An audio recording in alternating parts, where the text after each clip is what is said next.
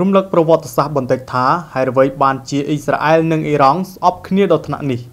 នៅសម័យអ៊ីរ៉ង់ស្ថិតនៅក្រោមការគ្រប់គ្រងរបស់ស្ដេចសាសទំនាក់ទំនងរវាងអ៊ីស្រាអែលនិងអ៊ីរ៉ង់មានភាពស្និទ្ធស្នាលនឹងគ្នាលើពីពេលណាណាទាំងអស់ដោយប្រជាជនជ្វីបអាចរស់នៅយ៉ាងសុខសាន្តជាពិសេសនៅក្នុងទីក្រុងតេហេរ៉ង់ផ្ទាល់តែម្ដងប៉ុន្តែអ្វីអ្វីបានប្រែប្រួលក្រោយរបបរាជានិយមសាសគ្រប់គ្រងដោយសហរដ្ឋអាមេរិកដួលរលំដោយសារបដិវត្តអ៊ីរ៉ង់នៅឆ្នាំ1979ធ្វើឲ្យប្រទេសទាំងពីរមើលឃើញគ្នាថាជាសត្រូវដែលមិនអាចផ្សះផ្សាររហូតមកដល់ពេលបច្ចុប្បន្ននេះតើហេតុអ្វីបានជាអ៊ីរ៉ង់និងអ៊ីស្រាអែលប្រែពីមិត្តមកជាសត្រូវសួរពូជបាទតាមអ្នកជំនាញនយោបាយដូចជាលោក Island Grand Summer ជាសាស្ត្រាចារ្យផ្នែកវិទ្យាសាស្ត្រនយោបាយមកពីសាកលវិទ្យាល័យ Bear Island នៅក្នុងទីក្រុង Tel Aviv ប្រទេសអ៊ីរ៉ង់ដែលប្រតិបត្តិសាសនានិកាយស៊ីអ៊ីតនិងប្រទេសអ៊ីស្រាអែលនោះមានសត្រូវរួមគ្នាគឺប្រទេសអារ៉ាប់កាន់សាសនាអ៊ីស្លាមនិកាយស៊ុននីចុះហេតុអ្វីបានជាប្រទេសទាំងពីរស្អប់គ្នាទៅវិញទៅមកសម្រាប់អ្នកជំនាញរូបនេះប្រទេសទាំងពីរធ្លាប់មានទំនាក់ទំនងល្អនឹងគ្នានៅមុនបដិវត្តអ៊ីរ៉ង់នៅឆ្នាំ1979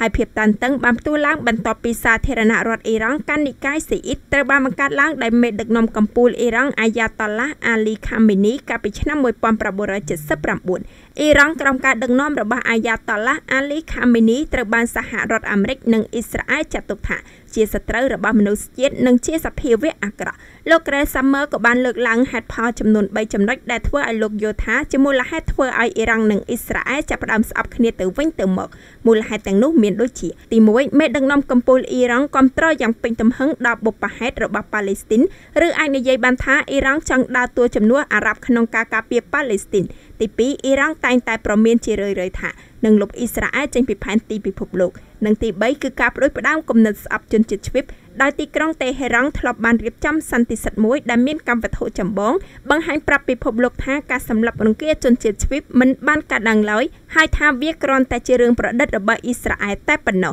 តែទោះជាយ៉ាងនេះក្តីភាពជាសត្រូវនឹងគ្នារវាងប្រទេសទាំងពីរកាន់តែផ្ទុះខ្លាំងឡើងក្រោយអ៊ីស្រាអែលបានដឹកនាំការធ្វើសង្គ្រាមលើប្រទេសលីបង់ដើម្បីប្រឆាំងនឹងក្រុមឧទាមហេសបូឡាដែលជាសម្ព័ន្ធមិត្តរបស់អ៊ីរ៉ង់កាលពីឆ្នាំ2006 ដោយឡែកក្នុងពេលបច្ចុប្បន្នប្រទេសទាំងពីរក៏កំពុងតែមានចំនួនផលប្រយោជន៍នឹងគ្នាកាន់តែខ្លាំងផងដែរនៅក្នុងសង្គ្រាមស៊ីរីជាក់ស្ដែងនៅឆ្នាំ2018នេះអ៊ីស្រាអែលត្រូវបានគេរាយការណ៍ជាបន្តបន្ទាប់ថាបានដឹកនាំការវាយប្រហារផ្លូវអាកាសលើមូលដ្ឋានទ័ពរបស់អ៊ីរ៉ង់និងក្រុមអ្នកប្រយុទ្ធ Hezbollah នៅស៊ីរីលើពីនេះទៅទៀតបើតាមសារព័ត៌មាន NBC ផ្អែកលើប្រភពពីមន្ត្រីអាមេរិកបានឲ្យដឹងថា អ៊ីស្រាអែលកំពុងស្វែងរកការគ្រប់គ្រងពីសហរដ្ឋអាមេរិកដើម្បីធ្វើសង្គ្រាមប្រឆាំងនឹងអ៊ីរ៉ង់នៅក្នុងប្រទេសសេរីប៉ុន្តែសហរដ្ឋអាមេរិកត្រូវបានគេមើលឃើញថាទំនងជានឹងមិនយល់ព្រមឡើយត្បិតបើសង្គ្រាមនេះផ្ទុះឡើងរុស្ស៊ីមុខជានឹងជួយដល់អ៊ីរ៉ង់និងសេរីដែលជាហេតុអាចនឹងនាំឲ្យទីក្រុង Washington និងទីក្រុង Moscow ត្រូវប្រឈមមុខដាក់គ្នាដោយផ្ទាល់ហើយសង្គ្រាមក៏នឹងរឹតតែក្តៅកគុកថែមទៀតឧបត្ថម្ភធំដោយ website កំសាន្ត 188asia.com Sehome Technology អ្នកឯកទេសផ្នែកកាមេរ៉ាសុវត្ថិភាពតាមរថយន្តគេហដ្ឋាននិងការិយាល័យ